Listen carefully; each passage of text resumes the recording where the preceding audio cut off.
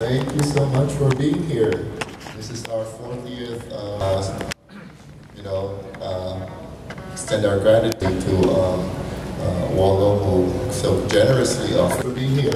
And to all of you, I hope that this uh, class, right of heart, Lord have mercy. Lord have mercy. At the right hand of the Father to intercede for us, Lord have mercy. To People of goodwill, we praise you, we bless you, glory. Lord God, Heavenly King, O God Almighty, you are seated at the right hand of the Father, have mercy on us.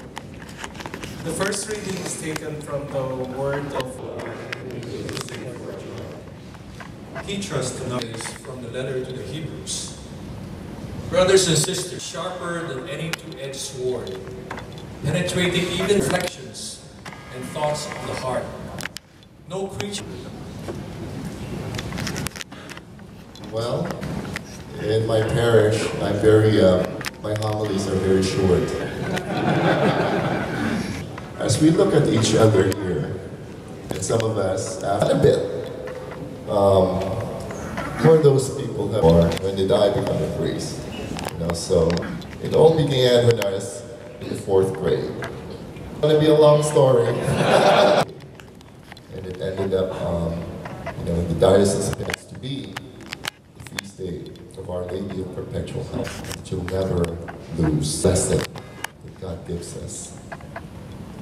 I'm so Pray, brothers and sisters, that my sacrifice may pass over to the glory of heaven through Christ our Lord. And by his suffering, canceled out our sins.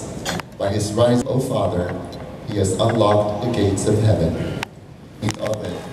For this is my body saying, Take this, all of you, do this in memory of me. Father, in the unity of the Holy Spirit, all glory and honor.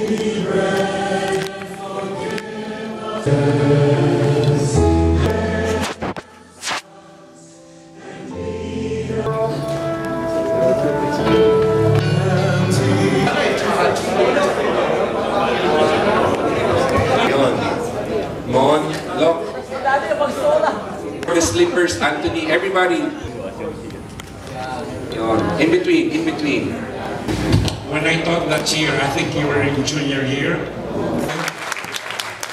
Please mention. Most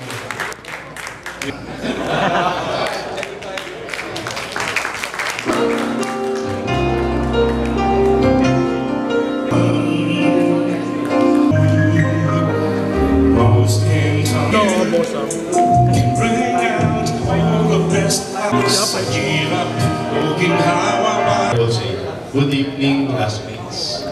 First of all, uh, extreme honor and.